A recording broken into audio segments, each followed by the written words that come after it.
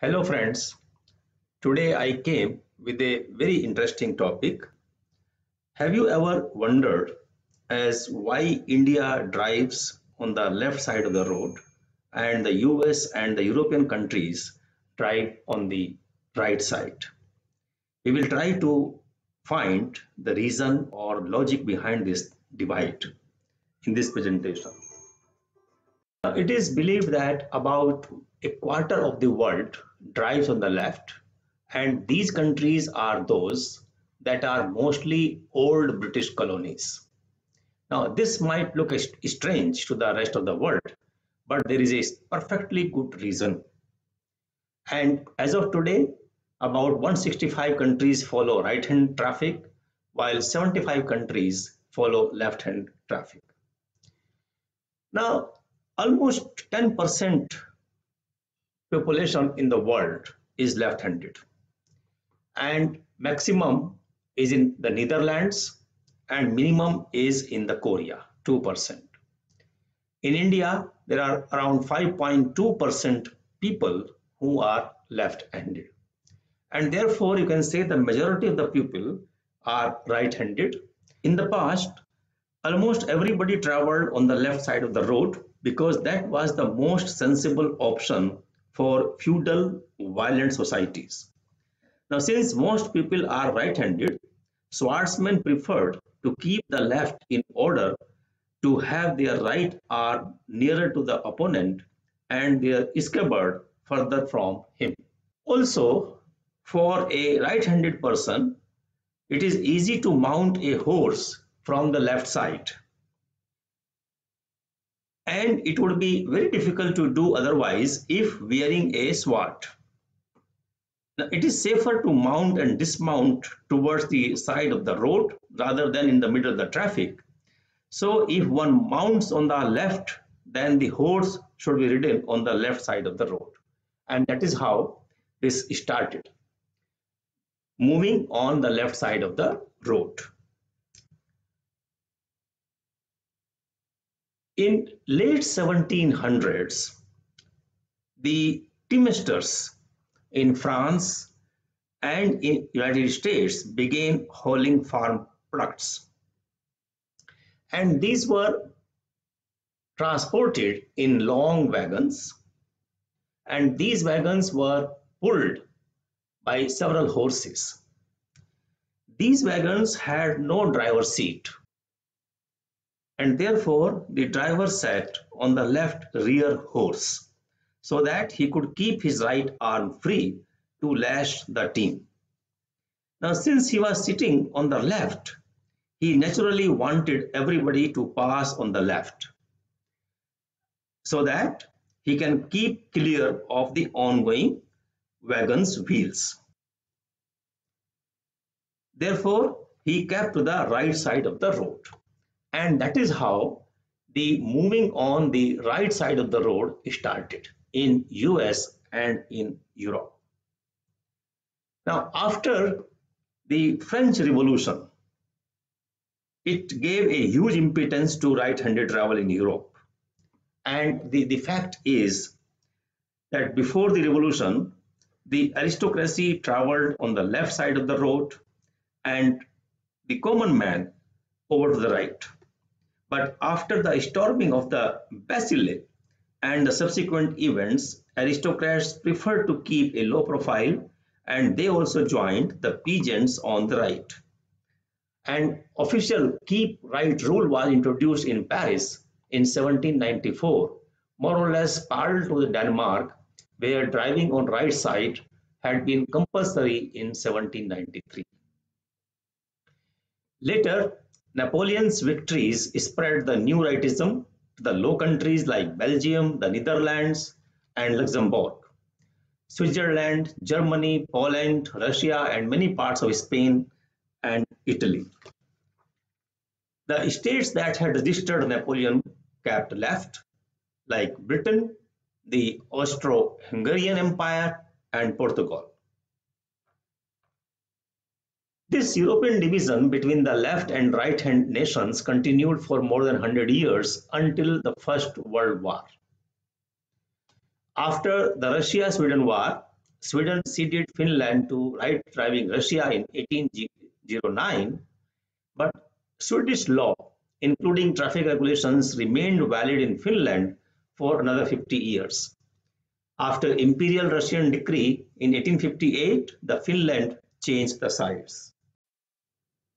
The trend among nations over the years has been towards driving on the right, but Britain did its best to avoid this global homogenization. And with the expansion of travel and road building in 19th century, traffic rules were made in every country. Left-hand driving was made mandatory in Britain in 1835 and countries which were part of British Empire also followed the same rule.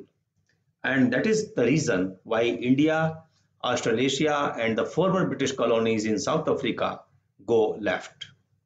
Now here Egypt was an ex exception and it is because Egypt was conquered by Napoleon before becoming a British colony. Now Japan was never part of the British Empire but still it goes on the left side. And the origin of this habit goes back to the Edo period when samurai ruled the country. It was until 1972 that this unwritten rule became more or less official and this was the year when Japan's first railway was introduced and this was built with technical assistance from the British. Gradually, a massive network of railways and tram track was built and of course all trains and trams drove on the left hand side. But still it took almost half century till the left hand drive rule was written in a law in 1924. When the Dutch arrived in Indonesia in 1596, they brought along the habit of driving on the left. When the Napoleon conquered the Netherlands, they started driving on the right, but colonies like Indonesia and Suriname continued on the left. Now, in the early years of English colonization of North America, English driving customs were followed and the colonies drove on the left. After gaining independence from England, they were anxious to cast off all remaining links with their British colonial past and gradually changed the sides from left to the right hand.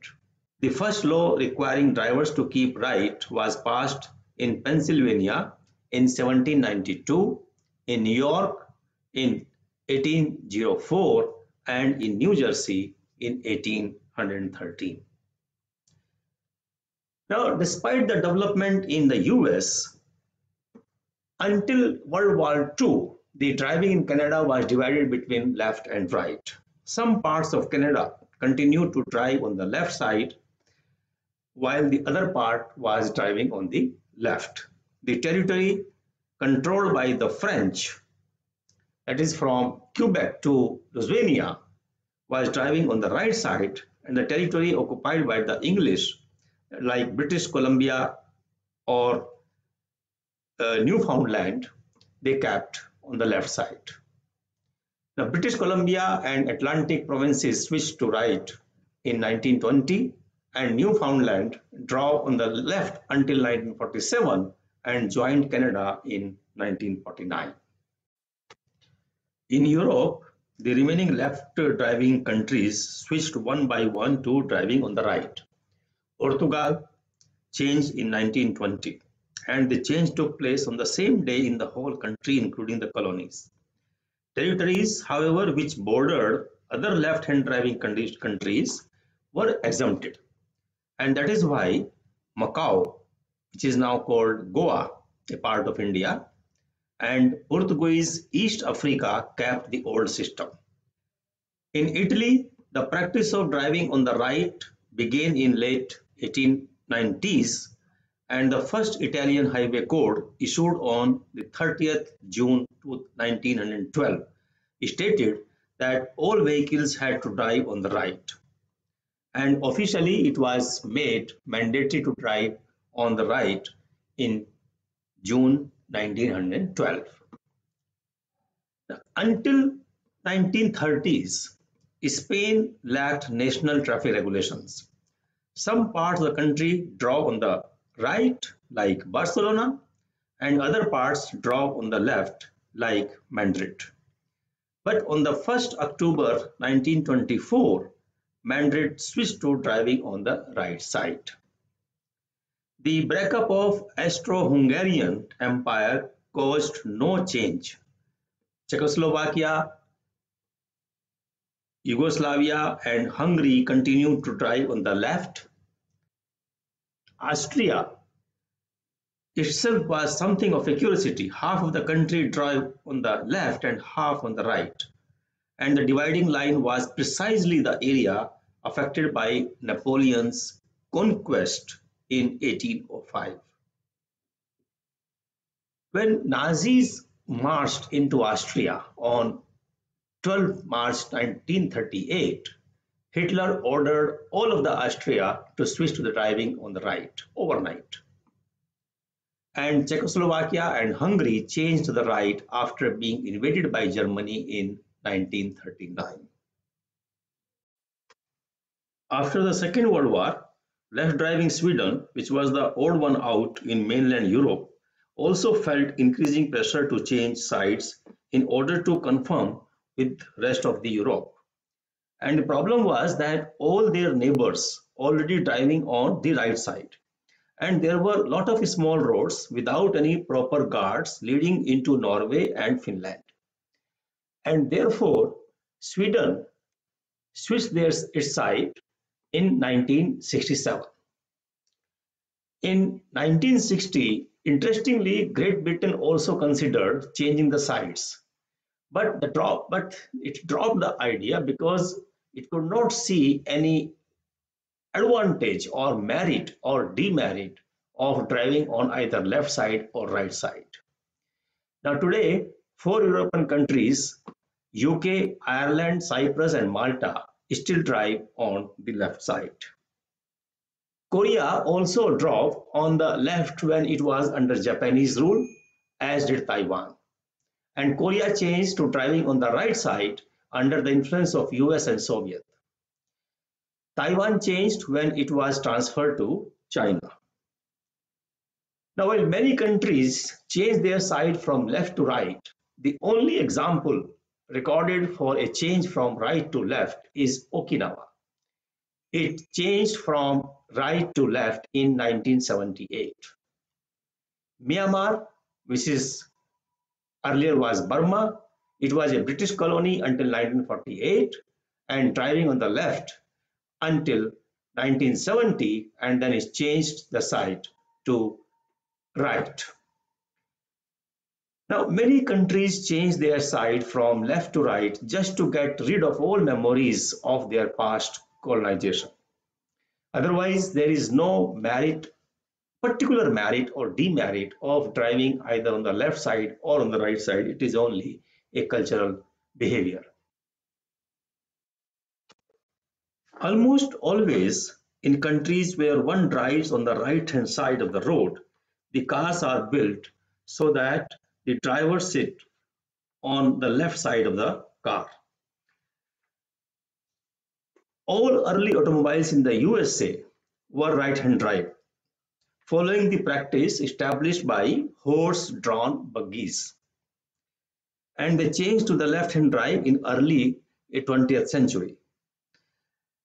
Because it was thought that it is more practical to have the driver seated near the center line of the road both to judge the space available when passing oncoming car and to allow front seat passengers to get out of the car onto the pavement instead of into the middle of the street.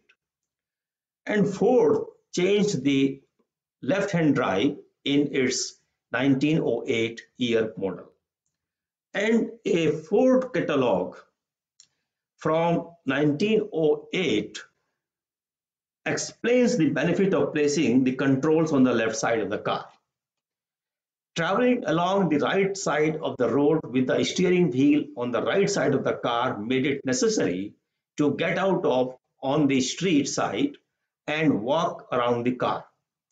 This is awkward and inconvenient if there is a lady to be considered. Control on the left allows you to step out of the car onto the curb. In the matter of steering, with control on the right, the driver is farthest away from the vehicle he is passing, going to opposite direction. With it on the left side, he is able to see even the wheels of the other car and easily avoid danger. Now, this was the reason. If you read it again, you will understand why this change was made. Whatever be the position of the steering wheel in a car, one comfort is that arrangement of pedals and that is always in the order of A, B, C. On the right side, it is accelerator and then brake and then the clutch. And this is the international practice now going from right to left. The order is always A, B, C. Whether the driver sits on the left side of the left side of the car or right side of the car. But A, B, C does not change. One area which is not standardized yet is the location of the turning signal lever. In some cases, in some car, you will find that this is on the right side of the driver, where, whereas in some cars, it is on the right hand of the driver. So friends, thank you very much for watching this video. I hope you liked it.